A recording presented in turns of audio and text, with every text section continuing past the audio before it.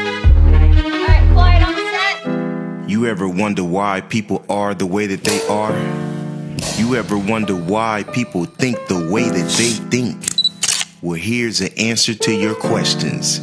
This is the sit down.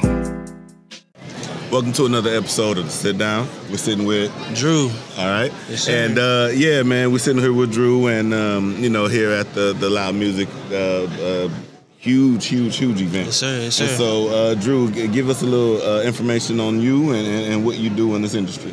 Oh shit, man. My name's Drew, man. I'm a uh, producer, artist, R&B. I'm to I'm into everything. You know what I'm saying? Uh, my entity, my brand is called Planet Trill. So if you're looking for me, all you gotta do is search Planet Trill, and it's everywhere. Okay. Anywhere you looking. All right. Yes, and so, how long uh, how long you been in the music industry? How long Uh, you been doing this? A Couple years, not not super long. You know what Okay. I'm saying? I ain't gonna sit here and say I've been doing it for ten years. Right, right, right. But yeah, I've been doing it for a decent amount of time. What's up? What's up? What's up? And where you from? Southwest. Southwest Already, baby. Southwest baby in the building already. for sure. That's where we came from. Yes.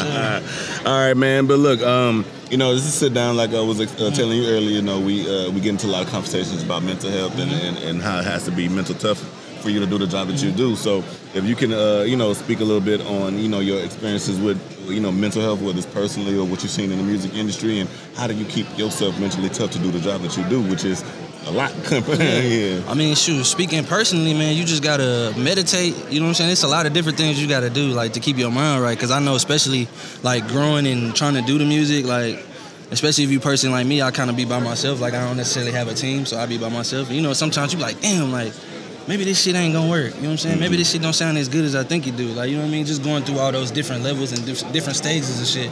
You know what I mean? Or stuff. My bad. You know what I mean? Of just trying to figure it out. You know what I mean? So mental health is super important. Like, you know what I mean? You got to get your mind right in life, period. Not just doing music, just Right. in life. You know what I'm saying? And I know it's a lot of struggle out here recently. You know what I mean? With, the, with Yes. what's going on in the world. You know what I Yes. mean? So that's most important first.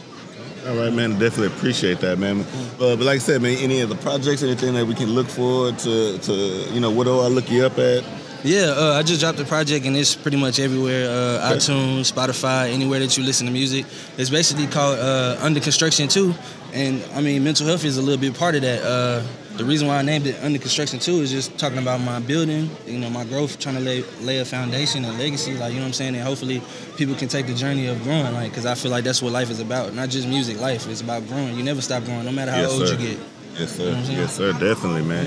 Man, I look, uh, Yes, sir. appreciate you taking the time Thank to uh, sit with us, man. And before you get up, man, I got to get you to sign my board. Okay, I got you. You know,